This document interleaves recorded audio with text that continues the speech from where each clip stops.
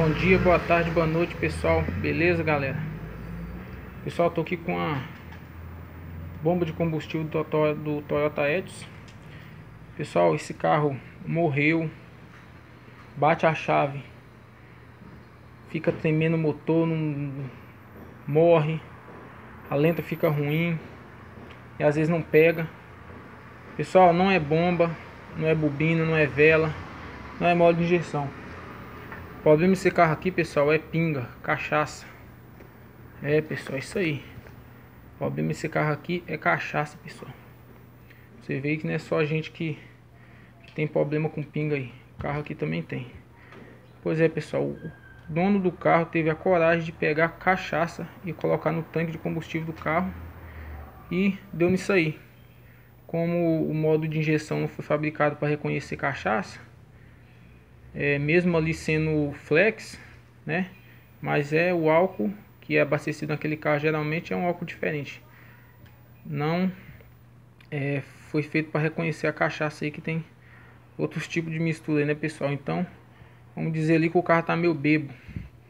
É, pessoal, nessa situação, o que que você faz?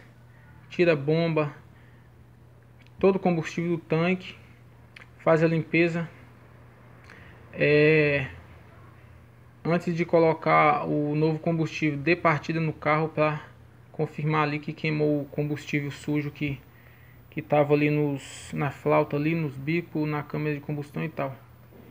E em seguida coloca aí uma gasolina de preferência aditivada. É, bate a chave do carro.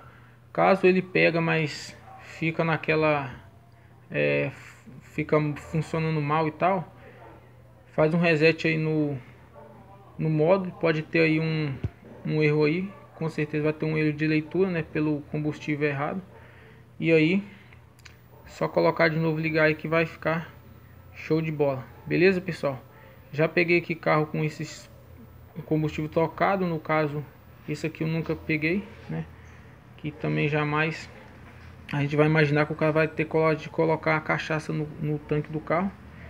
E não recomendo, pessoal, colocar nenhum produto misturado com o combustível aí do seu carro, beleza? Se é flex, coloca gasolina, álcool. Se não é, se não é flex, é só gasolina, pessoal, coloca só gasolina, beleza? Gostou do vídeo aí? Se inscreva no canal quem não for inscrito. E tamo junto, pessoal. Valeu!